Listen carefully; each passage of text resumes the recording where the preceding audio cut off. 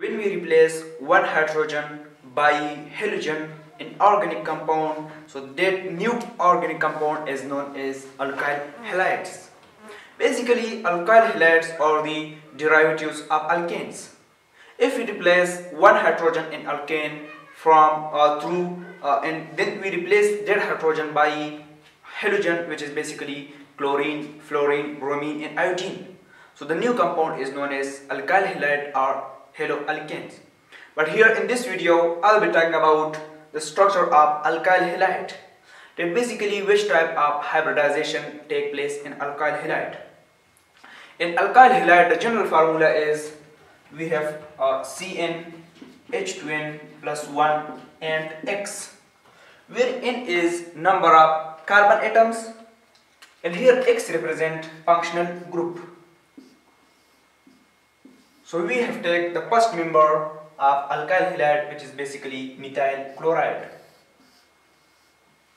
CH3 and Cl. This is the general structure. You can see carbon, hydrogen, hydrogen, hydrogen and bonded with chlorine. But in reality, do you know carbon have only two valence electron in their outermost shell. So how carbon can make four bond? This is a great question. So here basically hybridization take place. Hybridization means the mixing of orbital take place. So how orbital mix in the form four atomic orbital? So let's have a look. So here we have basically um, first we will look at the electronic configuration of carbon. So we know that carbon has six electron. So electronic configuration of carbon is in this way. 1s2, 2 is 2 and 2p 2. You can see here in outermost shell there is only 2 electron. If we further zoom this atomic orbital in 2s2 because 1s2 does not take part in chemical reaction it is core shell. So this we have 2s atomic orbital which have 2 electron. In this we have 2p which is further composed of 3 atomic orbitals. This is we have px, py and pz. You can see. So here it has only two electron. This is first electron and this is second. So basically what happened here, this one is electrons move toward pz. So in this way it complete their pz atomic orbital. Now this one is and 3p mix with each other. So this 3p and 1s now mix with each other. So they form a four, four new atomic orbitals which is basically known as hybrid atomic orbital. And this type of hybridization is known as sp3 hybridization. Because 3p and 1s atomic orbital mix with each other. So here p have characteristics of 75% and S characteristic is 25%. So in case of alkyl halide, now sp3 hybridization take place. So this is basically we have the first sp3 atomic orbital, this is the second sp3, this is the third sp3, this is the fourth sp3. Now it is bonded with 3 hydrogen and 1 chlorine. So we know that this is we have hydrogen, hydrogen and hydrogen.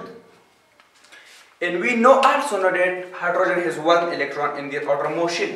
So its electronic configuration is in this way, 1 is 1. So sp3 directly bond with s atomic orbital of hydrogen with s of another hydrogen and s of another hydrogen. So this is basically sigma bond, means linearly they overlap, overlap with each other.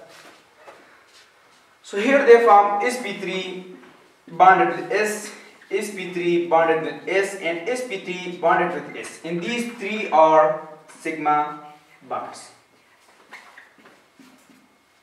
Now the last one is which is bonded with chlorine.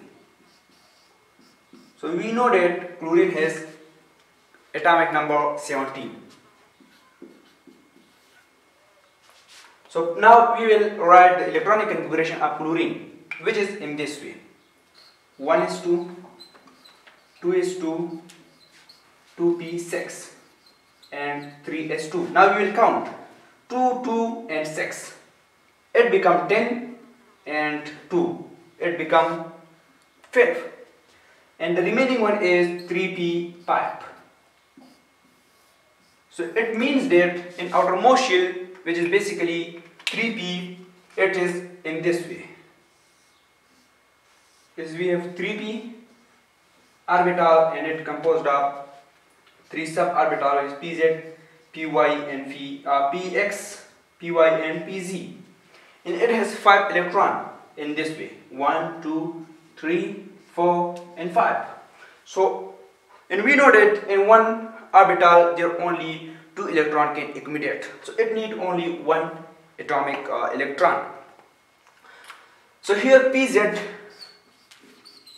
bonded with sp3 this is we have pz and they form also sigma bond in this way carbon complete their valency valency. So the remaining one is sp3 bonded with pz atomic orbital and it is also sigma bond